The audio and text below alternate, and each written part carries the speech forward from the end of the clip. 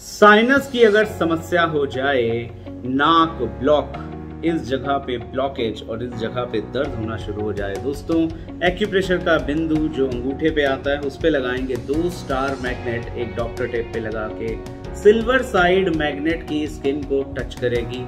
साथ में आपको लेने पड़ेंगे दो वाइट ब्योल मैग्नेट एक लगेगा अंगूठे के नीचे, इस जगह पे, एक हाथ में। और सेम जगह पे दूसरा मैग्नेट लगेगा। इसमें ध्यान रखना है व्हाइट मैग्नेट स्किन को टच करेगा और येलो मैग्नेट ऊपर विजिबल रहेगा। चार घंटे से बारह घंटे तक रोज ये मैग्नेट लगाइए और साइनस की समस्या से आजीवन छुटकारा पाइए।